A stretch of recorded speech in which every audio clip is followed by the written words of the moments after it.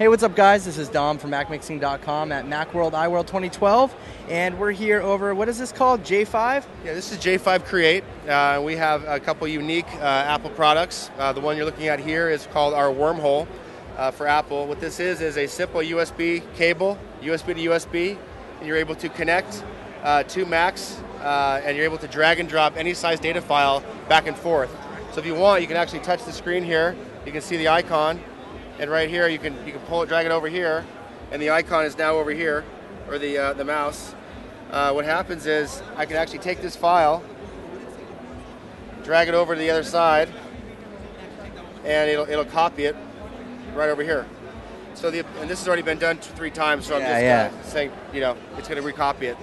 But the ability here now, the nice thing about this is that you're able to connect uh, two computers, you know, uh, and drag and drop any size data file at 480 megabits, 480 megabits per second. Is this running any software on the computers individually? Yeah, the, the first time you plug this in, it, it has a, a preloaded software on the device itself. It only takes under a minute to load.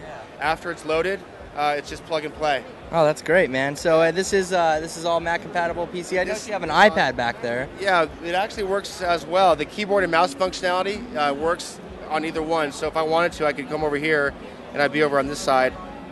Um, where am I here? So, so now I am on this side.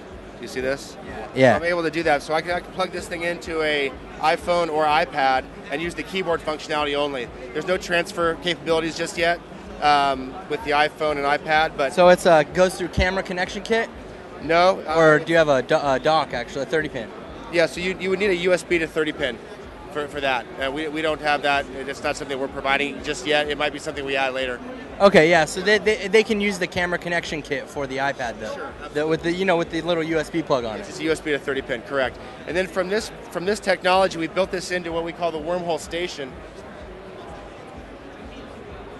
Just follow you over here. And, and what this is, we've actually won an award at the lo- at the CES uh, just Yeah, we were out ago. Yeah, and so we won this award for design and, and engineering, and this is building that same technology, the, the wormhole transferability and, and keyboard mouse sharing.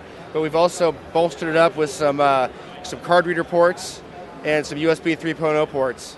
So this is just has a little bit more functionality for people that are using, um, you know, they're using their cameras, they're using their video cameras, uh, they have a high amount of data that they need to use or, or transfer to different devices. Um, so we're pretty proud of this, pretty excited about it. The the wormhole station retails at 109.99. The the Apple wormhole cable is only $39. Oh, that's great. Where can we find this at? Uh, currently, you can get it at Fry's retail, Micro Center retail, uh, but some of the bigger boys uh, on the block, you'll see it all over online. Maybe Apple Store, right? Apple Store is looking at it, yeah, absolutely. So we're looking forward to see it there soon. That's great, man. Thank you very much for that. Thank you. Have a good day.